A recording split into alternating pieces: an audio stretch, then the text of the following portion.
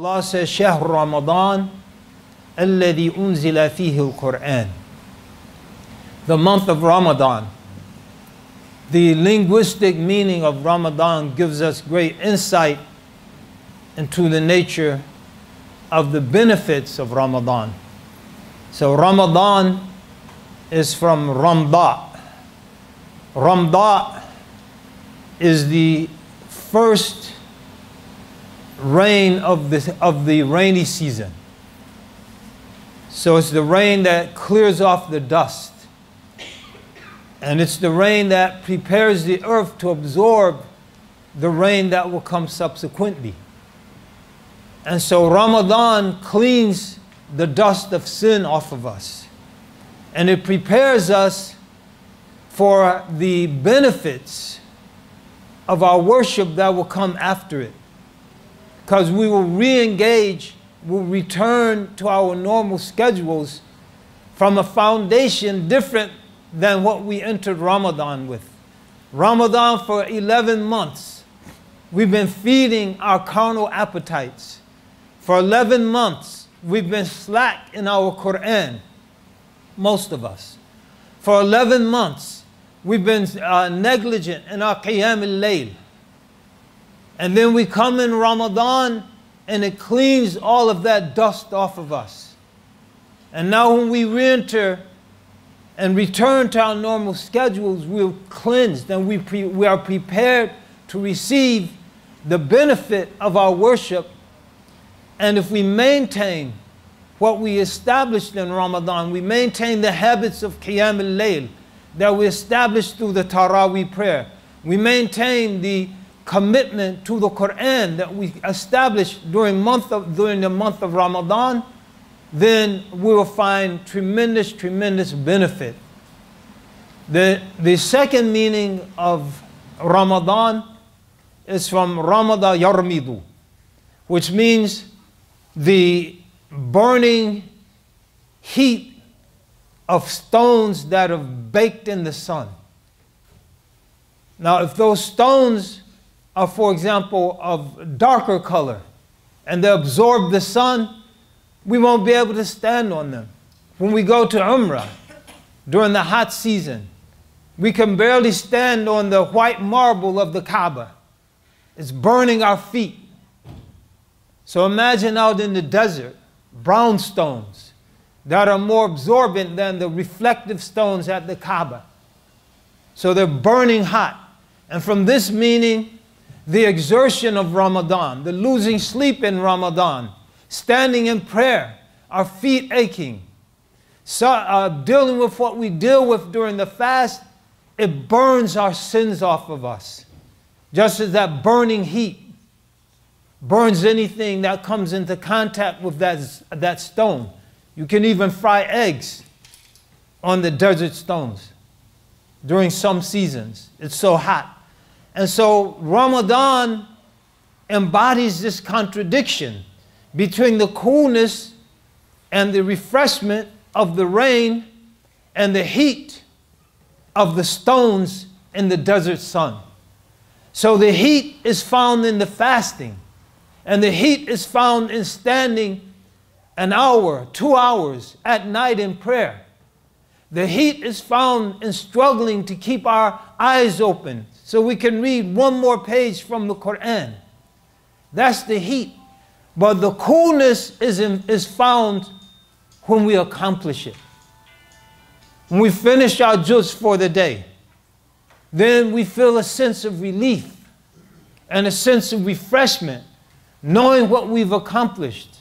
When we finish Taraweeh and it's late and we're sleepy and our feet are hurting, there's a sense of tremendous relief and the coolness that comes with accomplishing something that we might have to struggle with. So these are two of the seemingly contradictory blessings of Ramadan, but in reality, both are mutually reinforcing. And this is what Allah, or the Messenger of Allah, sallallahu alaihi wasallam, talks about when he said, "Lisa'imi farhatan." The fasting person has two joys. Farhatun and the fitrihi. The joy when they break their fast. This is the coolness. The fast was the heat.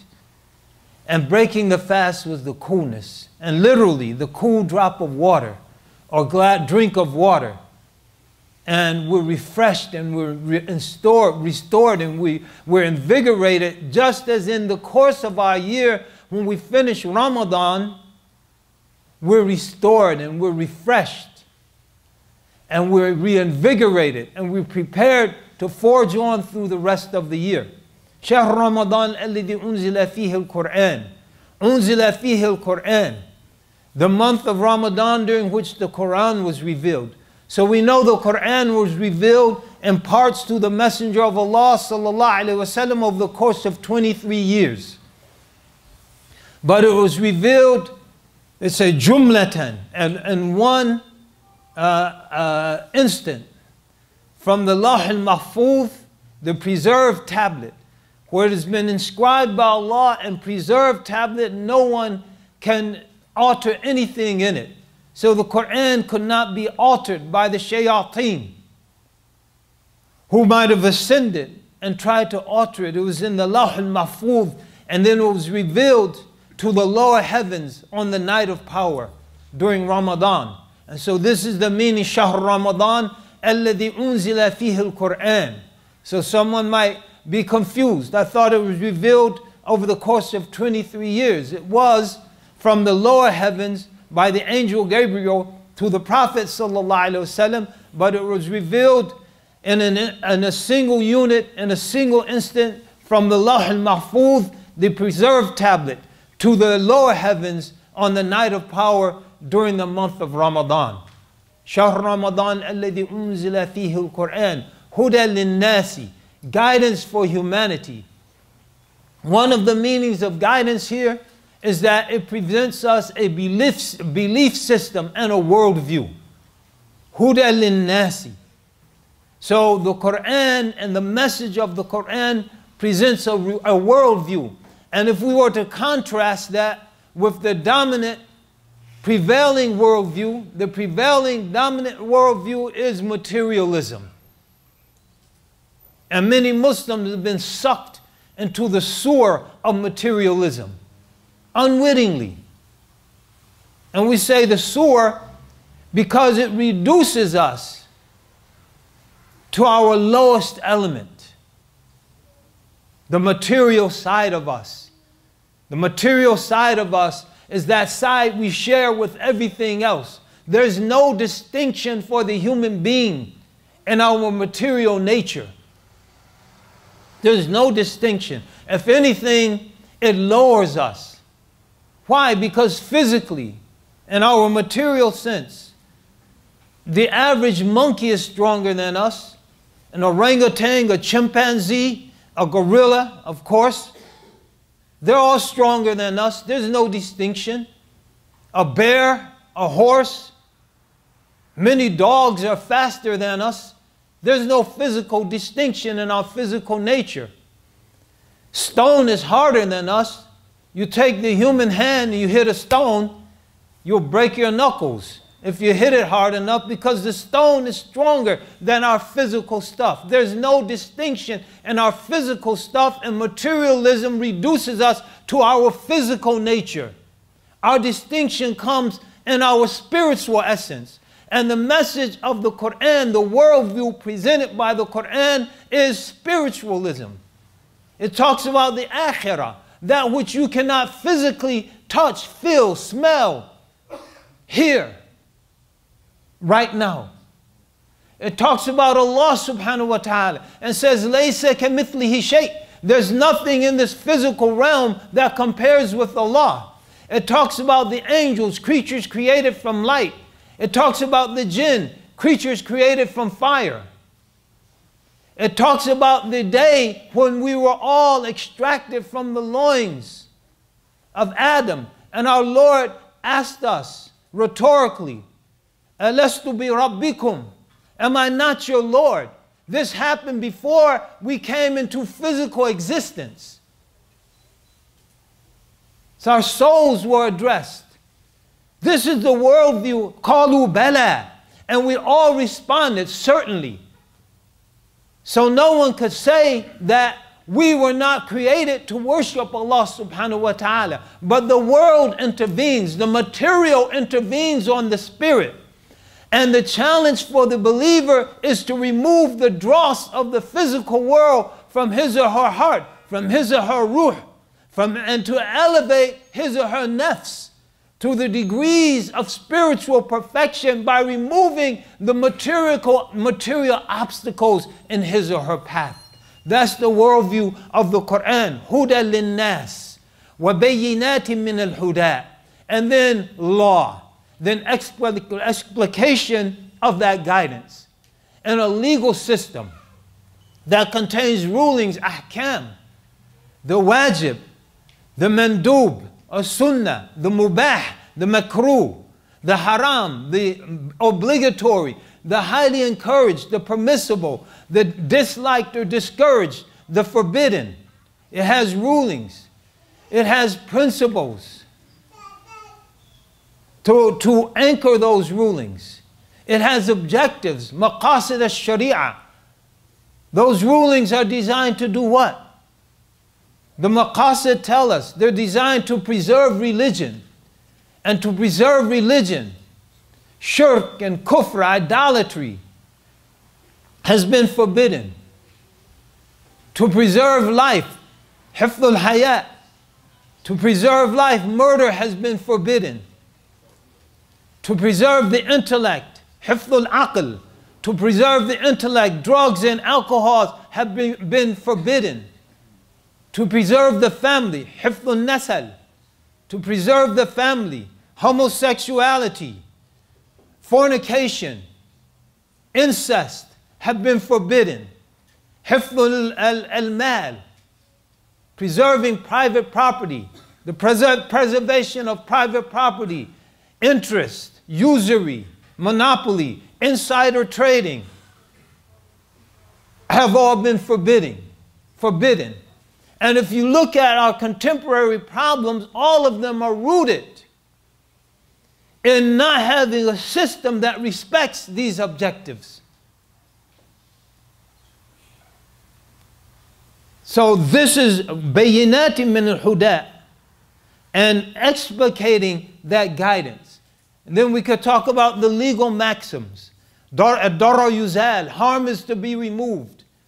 The early uh, scholars during the 18th century, for example, when cigarettes were introduced into the Muslim world, most of them, not all, one, Jafar al-Kattani said it's haram, and he wrote a book about it in the 19th century. But most of them said it's disliked, it's makruh. It, it has a foul odor like garlic, garlic or onions. So when you're around people, you offend them. You offend the angels accompanying you. The angels around us, you blow smoke in their face. That's one reason Jafar Kattani said it's haram. Because it's disrespect to, your, to the angels accompanying you. In any case, but most scholars says makruh. It makes your teeth dirty, and oral hygiene is one of the great prophetic teachings. Arba'an min sunan al-mursaleen, as-siwak. Good oral hygiene. But in the 20th century, when they found out smoking leads to lung cancer and throat cancer and emphysema and things that are deadly, then they said, the reputable scholar said, it's haram. Why? A darar yuzal, harm is to be removed. And so this is bayinati min al There's an intricate system of law that explicates that guidance and translates that worldview and that belief system into practical steps for us to live our daily lives. Wal furqan. And a criterion for distinguishing between right and wrong. In other words, a system of ethics, an ethical system, a moral system. So we know right from wrong. We know right behavior from wrong behavior. We know upright, sound character from vile and, and, and un, unacceptable character. Husnul khuluq. So this is the guidance that our Lord has given us. فمن كان منكم فمن كان مريضا أو على سفر أو على سفر فعدة من أيام أخر And so, this system, one of its principles is facilitating ease. Al mashaqqa tajlib at taysir. Difficulty calls, invites for facilitating ease. Those who are old, those who are traveling and dealing with the difficulties of travel in those days. We have little difficulty traveling in all our days. We go from air conditioned houses, jump into the air conditioned car, go to the air conditioned airport, get into the air conditioned plane, go to another air conditioned airport, go to another air conditioned car, and go to another air conditioned house. Unless you come to the Lighthouse Mosque, you have a fan. but the difficulty of travel is by largely removed. But if there is difficulty, there's ease. One can uh, leave the fasting. One who is sick doesn't have to force himself or herself to fast despite the burden and difficulty of their illness. They can make it up later. They can make it up. This is from the ease and the wisdom of our law and of our Islam. And then Allah, He says, لِتُكْمِلُوا الْعِدَّةِ in order that you would complete the appointed days of fasting, either in the month or if you were traveling or you were ill or woman on her monthly cycle, complete the days later, in the month or later. So the number, iddatul, idda, the number of days, because you might not get it during the month. So Allah Ta'ala didn't say litukmul shahr, litukmul idda, to complete the number and not necessarily the month. And so we have to complete the month. Brothers and sisters, fast vigorously throughout the month. من من صام رمضان إيمانا واحتسابا غفر له ما تقدم من ذنبه. Whoever fasts the month of Ramadan with sincere faith, anticipating a reward, then their prior and future sins will be forgiven. This referring to their lesser sins. The month. من صام رمضان Man qama Ramadan. Whoever stands for worship during the nights in Ramadan. So not just the first week when we're excited and we have Ramadan fever and we're ready to go. Then Ramadan fever wears off and we go one night and skip a night. And then after the second week, we don't go any nights. We're counting down for Eid. No, man qama Ramadan imanan wa ihtisaban. Whoever gufira lahu ma taqaddama min dhanbih. Whoever stands for worship during the nights of Ramadan, the entire month, then their prior sins will be forgiven. Not not ما تقدم من ذنب وما تأخر هذا ليلة القدر. من قام ليلة القدر إيمانا واحتسابا غفر غفر له غفر له ما تقدم من ذنبه وما تأخر. So I mistranslated the first one. Their pre- previous sins will be forgiven. This is the mercy, but we have to complete it. وَلِتُكَبِّرُوا اللَّهَ عَلَى مَا هَدَاكُمْ And some people say these three phrases refer to fasting the month of Ramadan, وَلِتُكْمِلُوا الْعِدَّةَ And then the Eid al-Fitr, because we open it with takbir. The night we see the hilal and we start the takbirat. وَلِتُكَبِّرُوا اللَّهَ عَلَى مَا هَدَاكُمْ And وَلَعَلَّكُمْ تَشْكُرُونَ and the shukr is referring to the six days of Shawwal. As shukr min jinsin ni'mah. The thankfulness we give is categorical to the blessing we receive. We receive the great blessing of Ramadan, so our shukr is to now fast six days.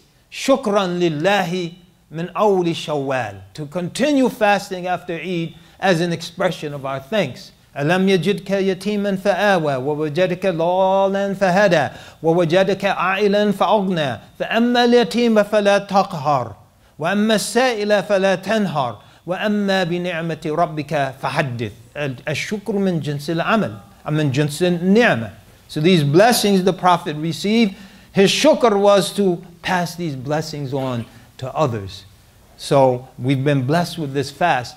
But some say لِتُكَبِّرُ اللَّهَ عَلَى مَا هَدَاكُمْ To thank Allah, to glorify and extol the greatness of Allah for this great, great blessing of guidance that He's given us.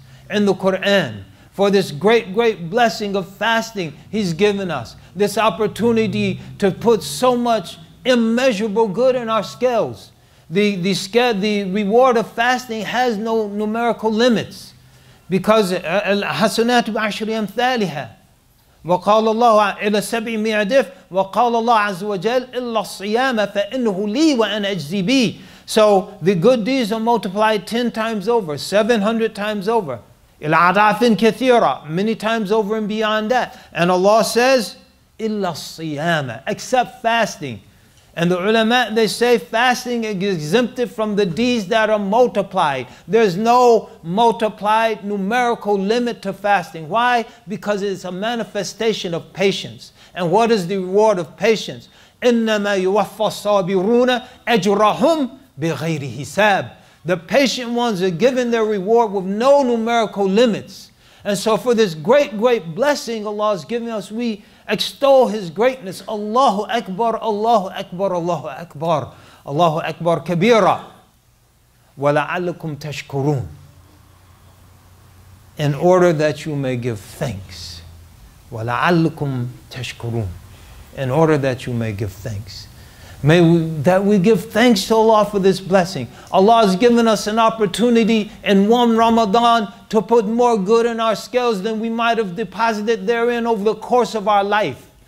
Allah has given us an, uh, uh, an action, fasting, that the reward no one can take. فَإِنَّهُ لِي Fasting is mine.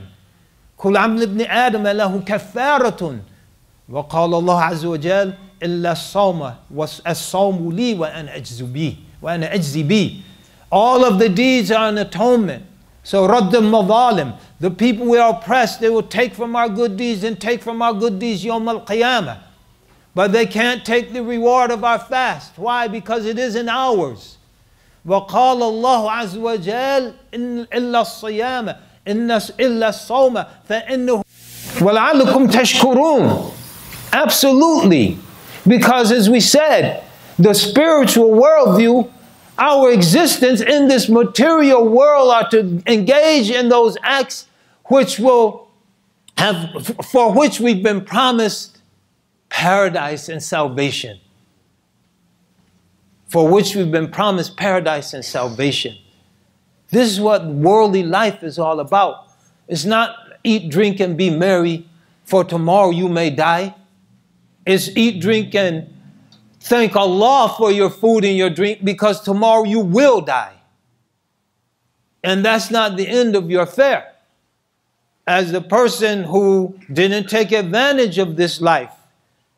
وَأَمَّا مَنْ أُوتِيَ كِتَابَهُ بِشِمَالِ For the one given his, his book of deeds in his left hand, فَقُولُوا يَا لَيْتَنِي لَمْ أُوتَ كِتَابِيَا he says, Woe unto me, were I not given my book. He knows what's in there.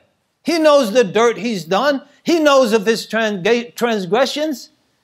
يا ليتني لم أوتى كتابيا ولم أدري ما حسابيا and I didn't realize what my reckoning will be. He knows what his reckoning will be. She knows what her reckoning will be. So, we have an opportunity to get the deed, the book, in our right hand.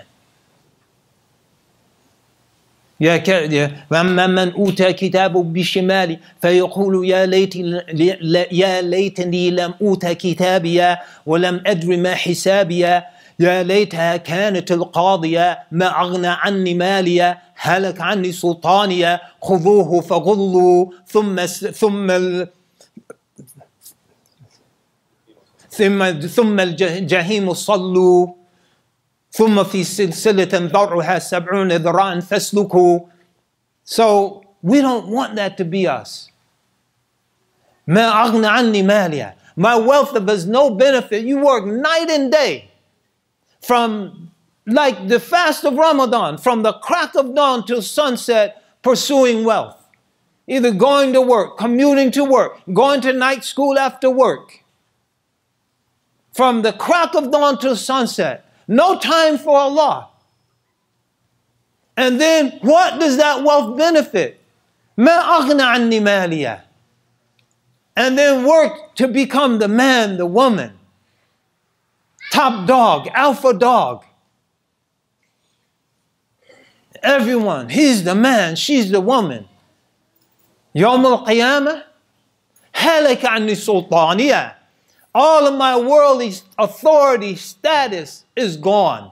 هلك عني سلطانية خذوه فغلوا and then the angels be ordered seize him and strangle him ثم الجحيم صلوا and then make him or her fuel for the hellfire ثم في سلسلة ذرعها سبعون ذراعا فاسلكوا then wrap them up in a chain that's seven cubits long to drag behind them in the hellfire with the burning heat of the chains, multiplying the burning heat of hell and dragging that burden through hell. Who wants that? I'll tell you who wants it. The ones who say this material world is all we have. The ones who say if I can't see Allah and taste Allah and smell Allah and hear Allah, Allah doesn't exist. That's who wants it. May Allah give us tawfiq. May Allah bless us to give thanks to Him not only for the blessings of the reward of Ramadan, but for reconnecting us with our humanity by blessing us to support to suppress those carnal physical lusts and appetites so that our spiritual essence and being can come to the fore and we can connect with it and we can appreciate it and we can know that it's real and we can know that it's more real than this world where everything perishes. You know anything that lasts forever? Did your nice new car last forever? Forever? When you got your Cadillac Back in 1974, the big Eldorado with the diamond in the back, the sun top, and you were digging the scene with your gangster lean. And then five years later, that LD was in the junkyard. This is the reality of the world. No matter how pretty, how enticing, how alluring, it's going to fade. Kullu alayha fan. ويبقى وجه ربك ذو الجلال والإكرام But your Lord will remain. Your Lord will remain. Brothers and sisters, pursue that which lasts and not which that not that which perishes.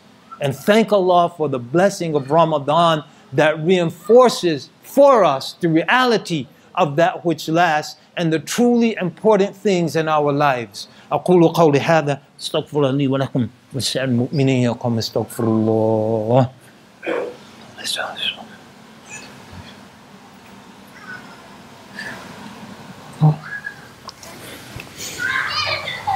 إن الله وملائكته يصلون على النبي. يا أيها الذين آمنوا صلوا عليه وسلموا تسليما اللهم صل وسلم وبارك على سيدنا محمد وعلى آله وصحبه وسلم الحمد لله Allah has blessed us brothers and sisters don't complain Allah has blessed us don't wish for another time thank Allah for this time Thank Allah for this time.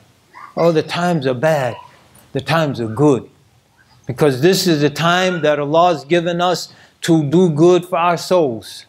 This is the time Allah has given us.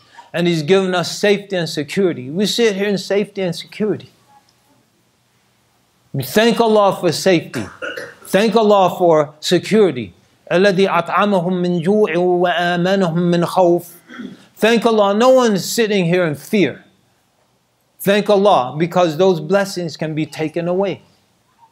And the thing that leads to the eradication of blessings is not thanking Allah for them.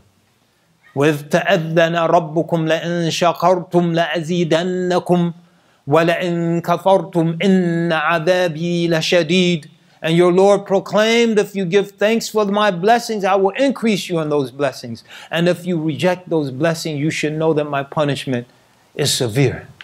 وَلَعَلَّكُمْ تَشْكُرُونَ In order that you will give thanks. So may Allah bless us with thankful hearts. اللهم إنا نسألك قلوبا شاكرة وألسنة ذاكرة وأبدانا على البلاء صابرة Ya Allah, we ask you for thankful hearts and we ask you for reminder, mindful tongues, tongues that are occupied with your remembrance. And we ask you for bodies that are patient in the face of the hardships and tribulations bodies encounter during this world.